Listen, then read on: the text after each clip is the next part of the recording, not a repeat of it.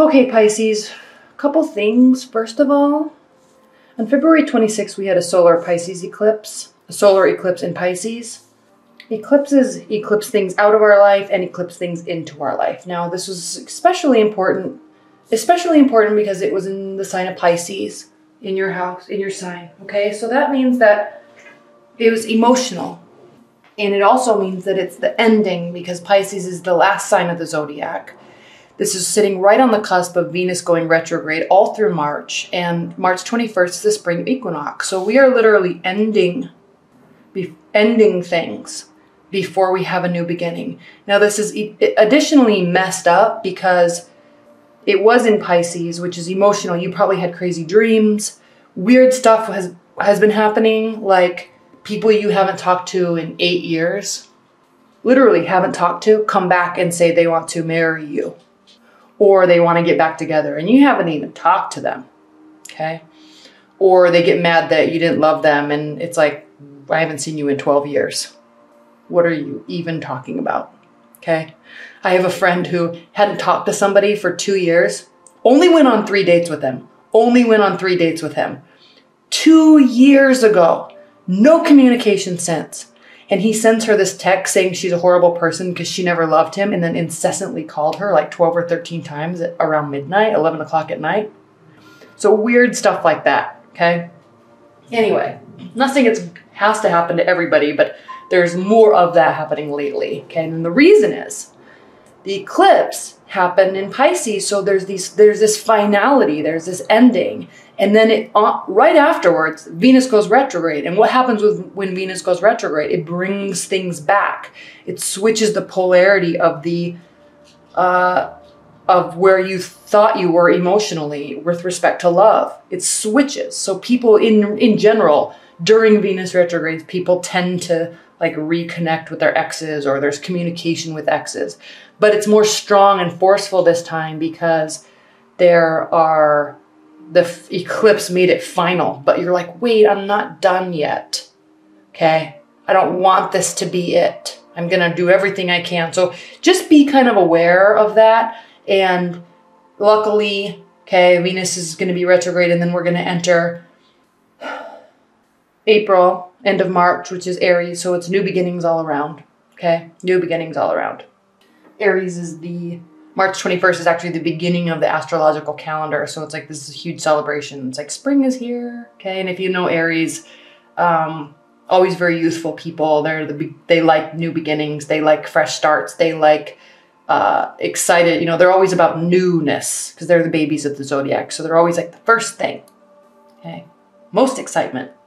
All right a lot of Aries people tend to look young, always have kind of like a little baby face, you know. So, anyway, anyway, enough about that. Let's talk about your reading. So, if weird stuff has been happening, it greatly, greatly impacted you, Pisces, because all this was happening in your sign, okay?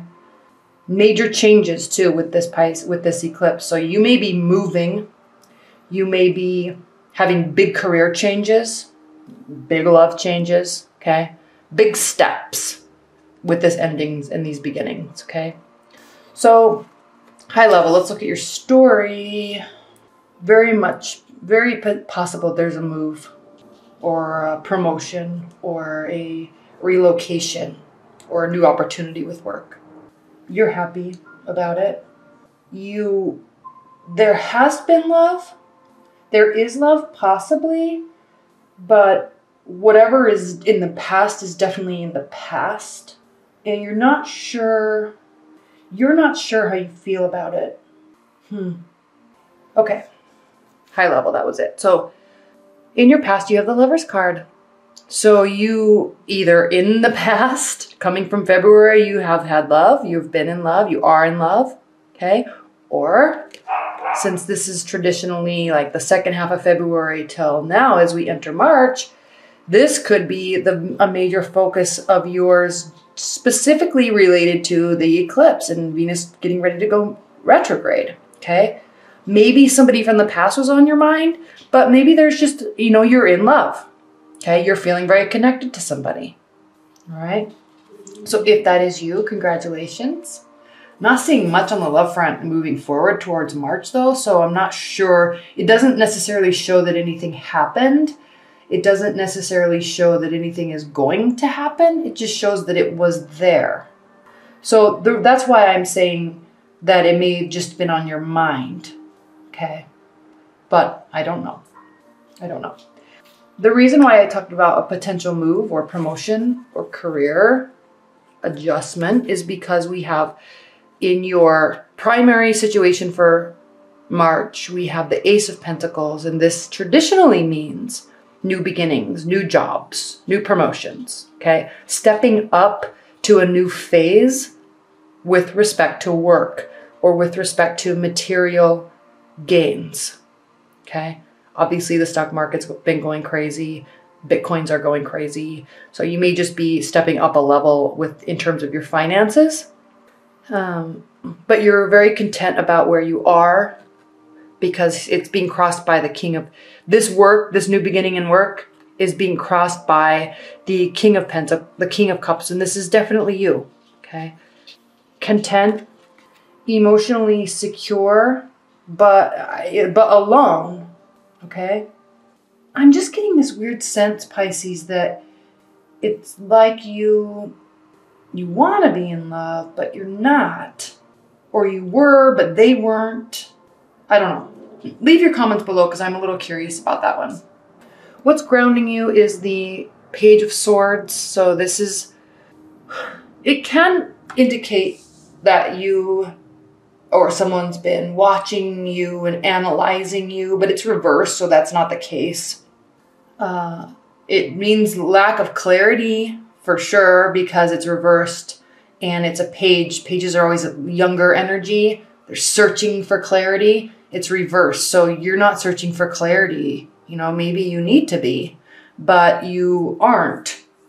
But it's okay because I'm getting the sense you're really just focusing on yourself and your work right now, which is so odd because we come from the lover's card. Okay, I'm confused about this.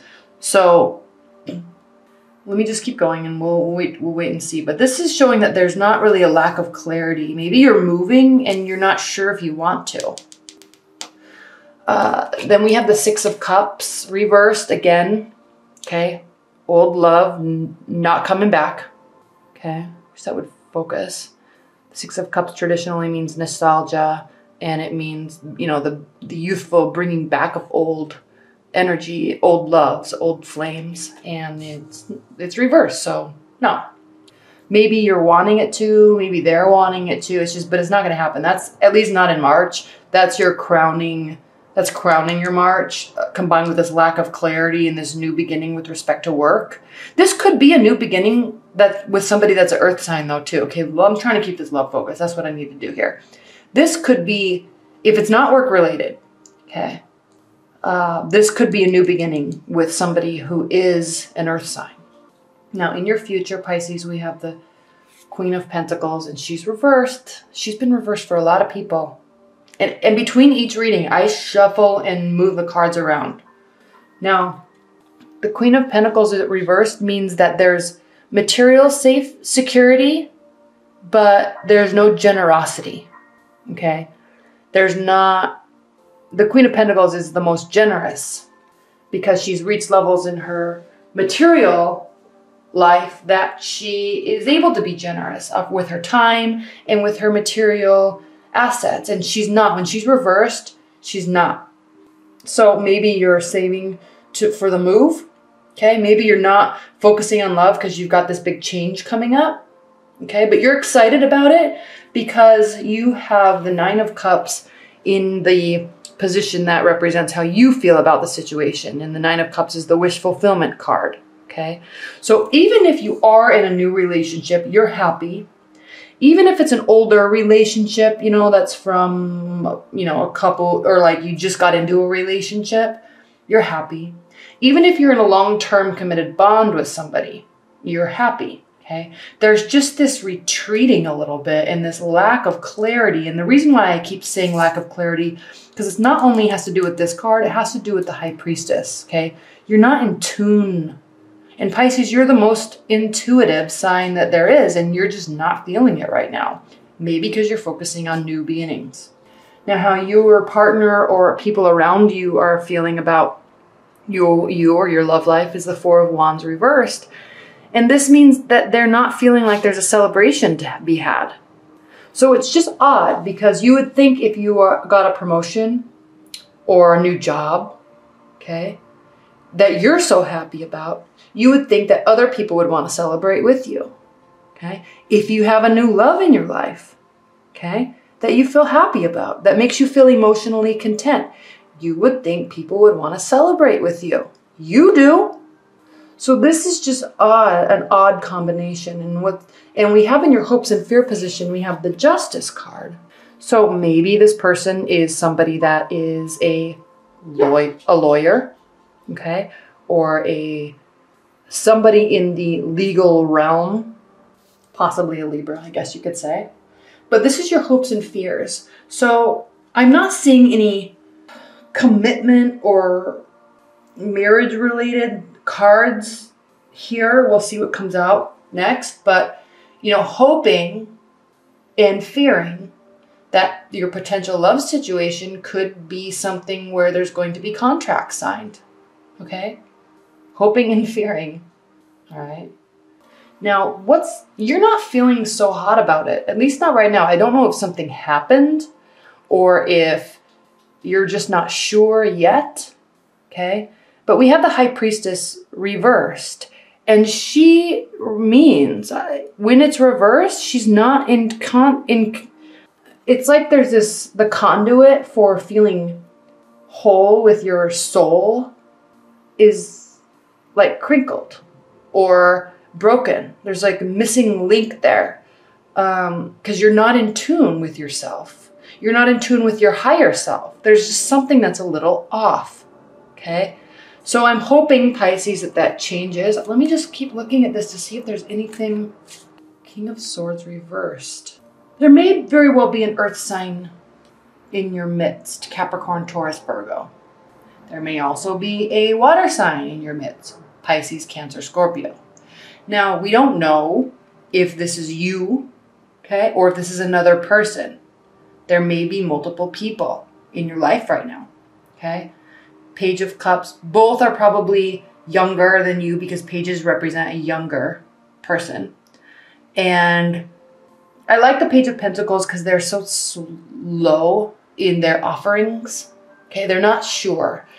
And I love the depiction on this card specifically because earth signs are the most work oriented of the zodiac. Okay, they're the workhorses. They just work, work, work, work, work. They build career status, usually at a young age, high level career status, because they just focus on work. Okay, there's not a lot of emotion. It takes a long time to pull emotions out of them, which is different than you, Pisces, who are emotional all the time. Like you know how you feel, and you know you might not communicate it, but you're in tune with your emotions. Earth signs not so much. And in fact, they're maybe a little afraid of their emotions. So I like this. The whole reason why I'm saying that is I like this depiction because it's like he's he or she's testing the emotions, offering and testing, offering and testing. Not testing you, but testing how they feel about you. Okay. So they're slower earth signs move slowly. They can get into relationships, okay? Sex can happen quickly, okay? They can be around quickly. But in terms of really developing real feelings, solid feelings, that takes a long time, okay? Water signs, on the other hand, they can literally dive right in. And they're intuitive, so they can feel in love very quickly. They can feel that you are supposed to be with them very quickly. Now, the King of Swords is an air sign. You have a few swords in your reading. Uh, so this could be a Libra, Gemini, or Aquarius. And swords are like like earth signs, they're not very emotional and they do like to keep to themselves and they're very cognitive. They can be extremely social and they can talk about anything under the sun because they know a lot. Okay, they they're ruled by their brain. You are ruled by your emotions. Capricorn or earth signs are ruled by material things, building, Okay, tangible things. Fire signs are ruled by action. So this is reversed. So there could be somebody in your midst that is an earth sign, air sign that's gone. Okay, or they're um, taking a break and they're not in tune with you right now. Okay, the fact that this is a king is somebody older or close to your age. Okay, and they are uh, they're not on the same page with you right now or wavelength. Okay, it's reversed. Okay, so probably stoic, probably shut down. They don't talk. When when air signs get hurt or they need space, they don't really communicate that. They just go and sort things out in their mind and then they can just come back and act like nothing happened.